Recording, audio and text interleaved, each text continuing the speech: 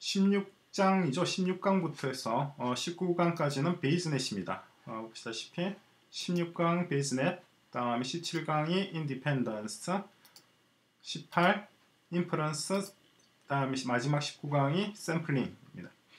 이게 원래는 우리가 공부했던 Hidden 마르코프 모델이나 마르코프 모델, Particle Filter 등보다 먼저 공부를 해야 되는 내용인데 어, 이번에 2017년도에는 순서가 바뀌었습니다. 바뀌어서 hidden Markov model이 먼저 나오고 그런 다음에 이제 Bayes net이 나와 있는데 어, 왜 그랬는지 뭐, 뭐 나름대로 이유가 있겠죠. 하여튼 조금 좀 자연스럽지는 않습니다. 원래 Bayes net을 기본으로 해서 어, Markov model을 공부하는 게 맞죠. 특히 particle filter 같은 경우 특히 그렇죠.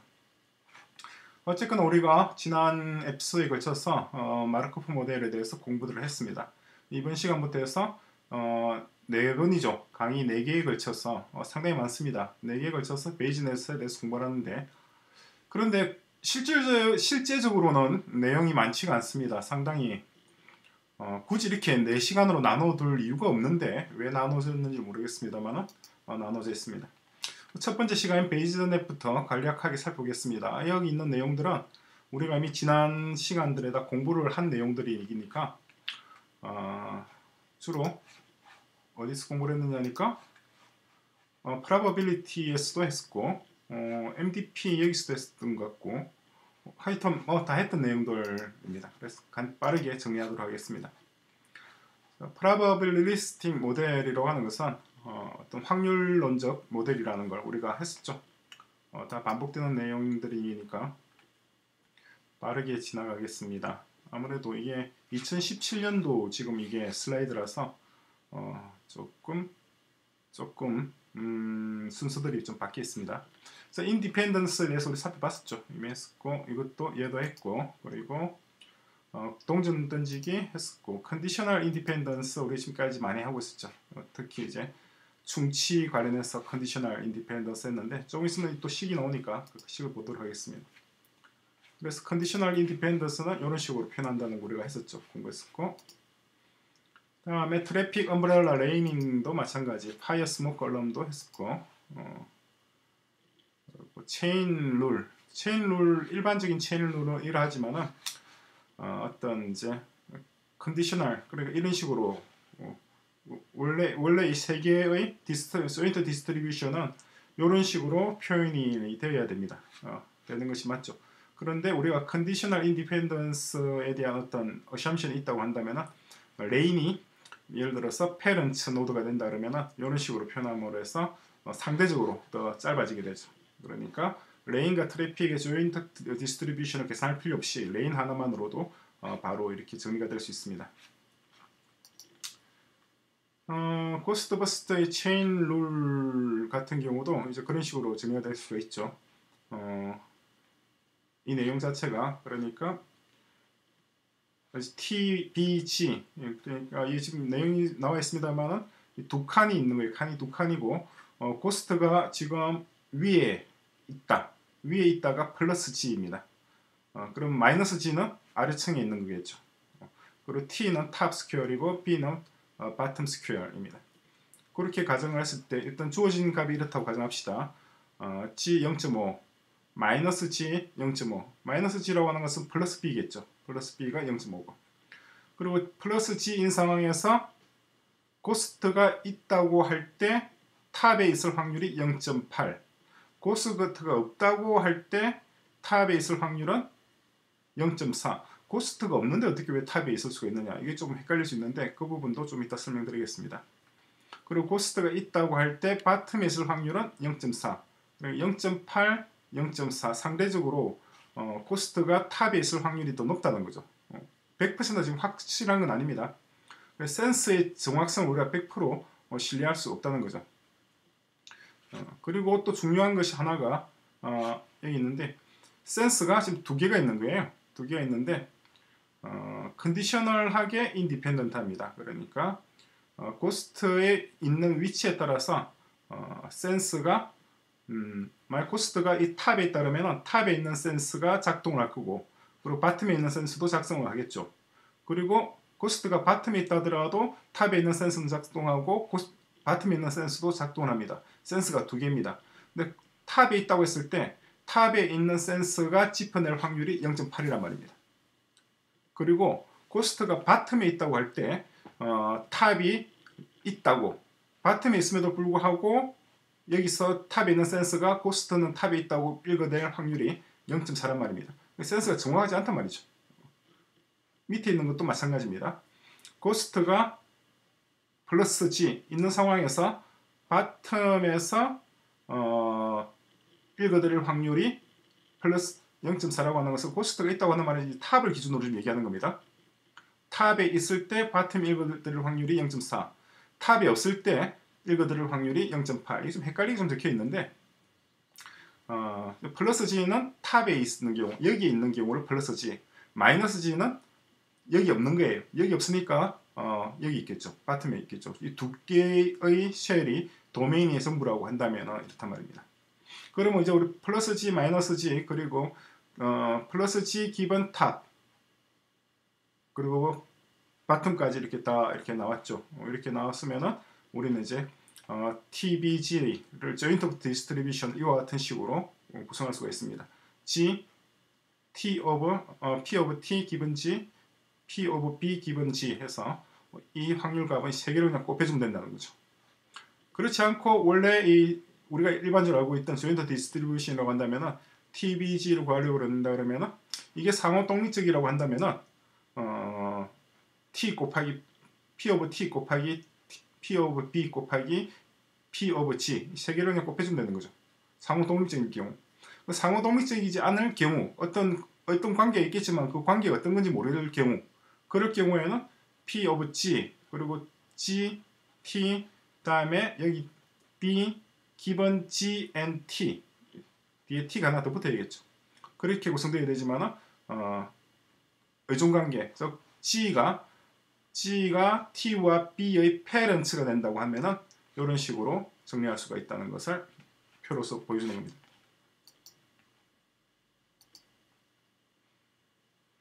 그 베이즈넷이라고 하는 것은 어떤 것인지에 대해서 간략하게 정리되어 있습니다. 보시면 됩니다. 그냥 그래피컬 모델이다 보시면 됩니다. 왜 이게 필요한지도 우리가 설명을 했었죠. 어, 굉장히 다양한 어떤 어, 변수들이 있다는 거죠. 보험회사인데 보험회사에서 어떤 하나의 어떤 비용 cost를 산정하기 위해서는 그 cost에 영향을 미치는 게 엄청나게 많이 있는 거죠. 이거 뭐 자동차 보험일 수도 있고 건강보험일 수도 있겠는데 이건 자동차 보험이네요. 내용 자체가.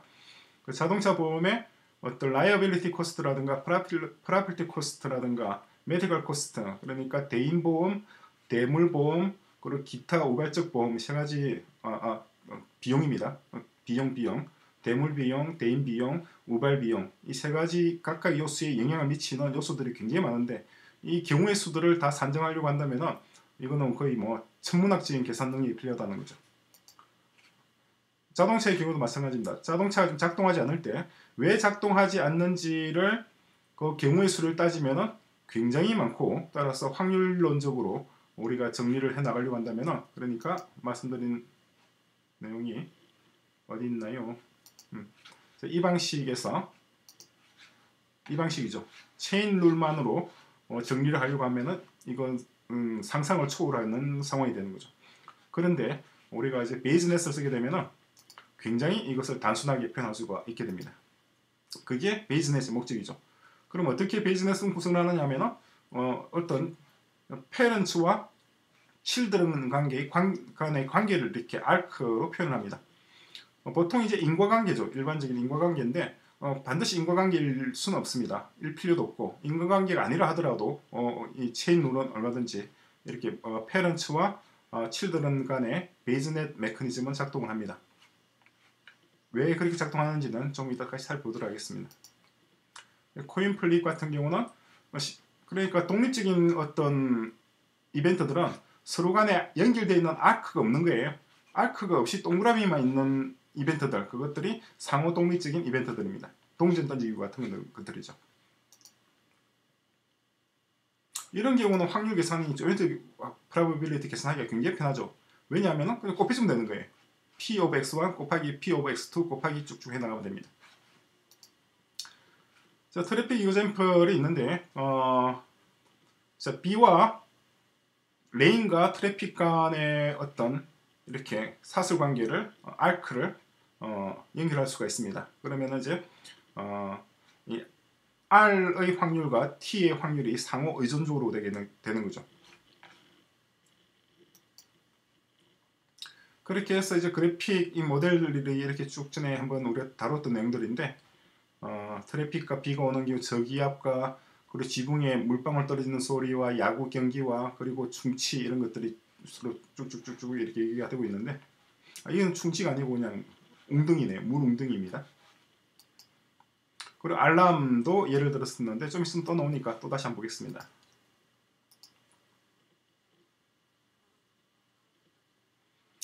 자, Bayes net은 기본적으로 이렇게 어, conditional distribution for each node입니다.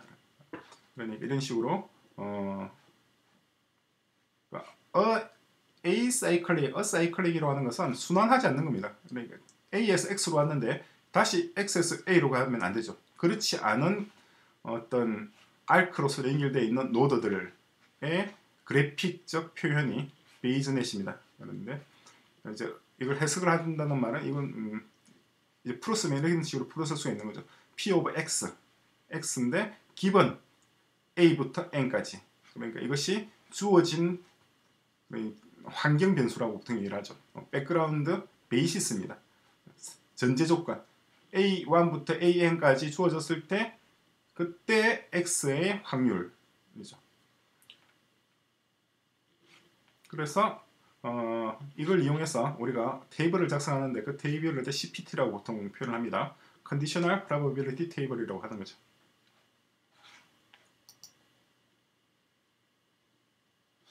이게 작동하는 것이 보면은 이제 이런 식으로 하는 거죠. 음, 이게 이제 곱하기란 말이죠. 1부터 n까지 해서 곱해주면 됩니다. xi부터 어, parents xi parents만 들어오면 되는 거죠. parents만 들어오는 경우와 어, 그렇지 않은 경우를 좀 전에 살펴봤던 그 내용 그대로입니다. 다시 찾아서 보면은 어디 있나요? 여기인가요? 그렇죠. 여기는 parents뿐만 아니라 다른 변수들을 다 보게 됩니다. xn까지 가면 xn은 앞에 있는 걸 쭉 다 나열해야 되죠. 어, 모든 joint 그걸 만들어야 됩니다. 그런데 방금 봤던 그 식은 오직 parents만 자신 노드의 parents만 고려하면 된다는 겁니다.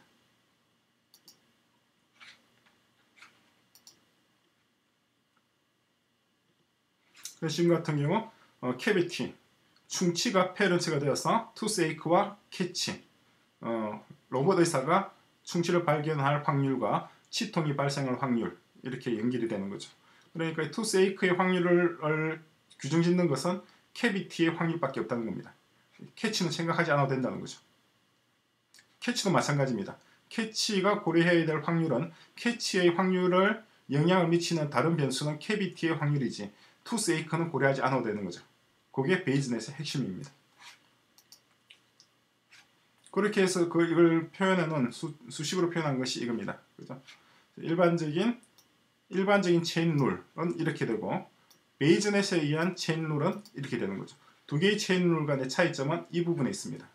그렇죠?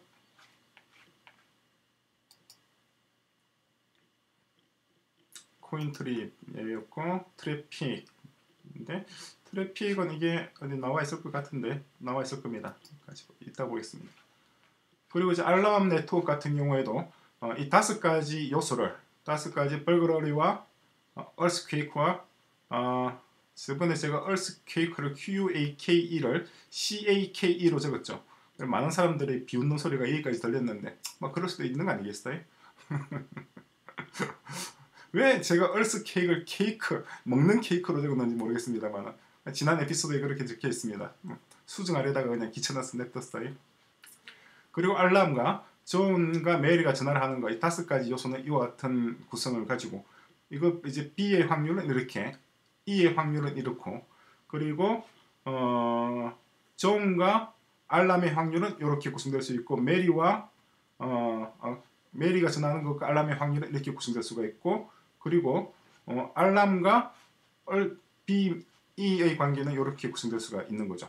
이렇게 해서 이, 음, 이 다섯 가지 테이블로 이 모든 경우의 수를 다 적어낼 수 있습니다.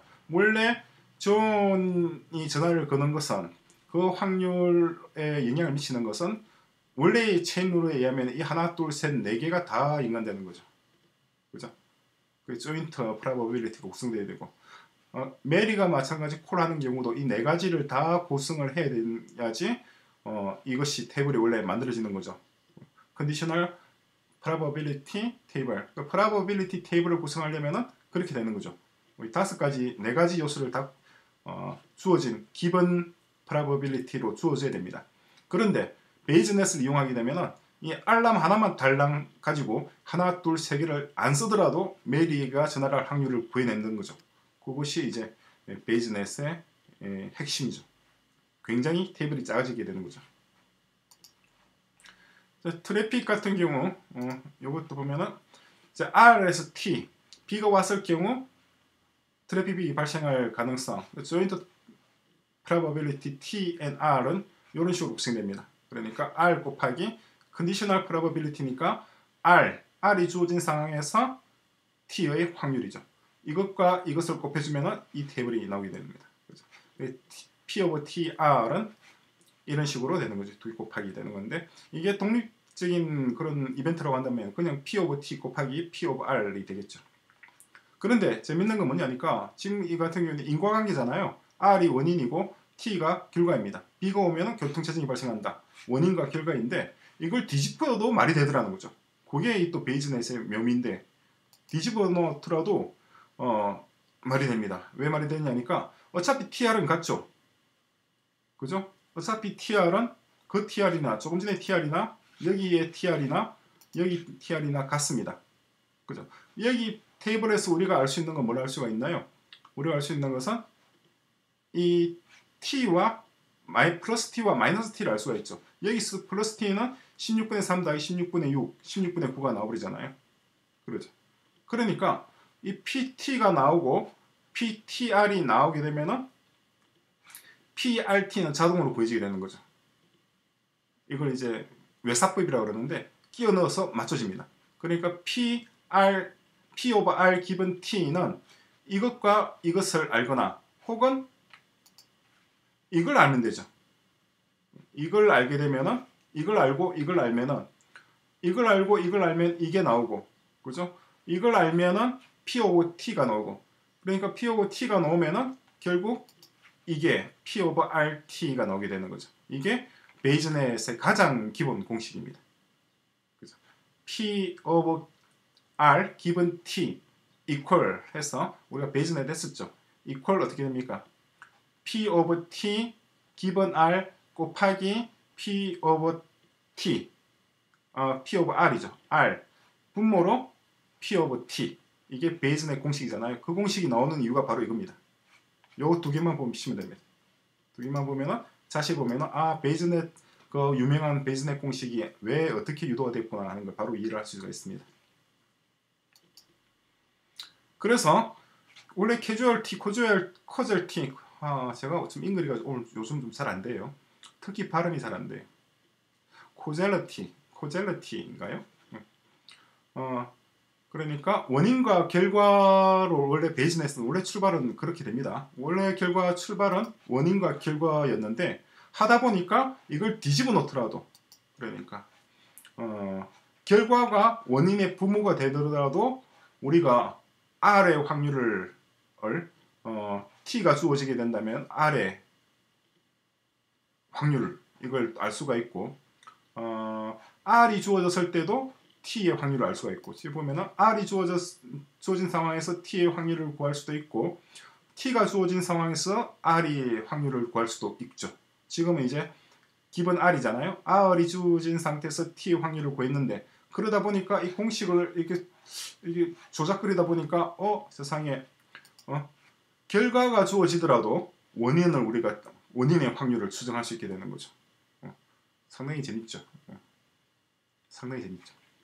자, 이렇게 해서 비즈니스의 기본적인 개념들을 쭉 한번 우리가 이미 다 공부했던 내용들인데 다시 한번 복습하는 삼아 쭉 살펴보았습니다. 천천히 슬라이드를 한번 읽어보면서 혹시라도 이해 안 되는 부분이나 어, 기억이 가물가물한 부분이 있으면 게시판에 질문 올려주시기 바랍니다.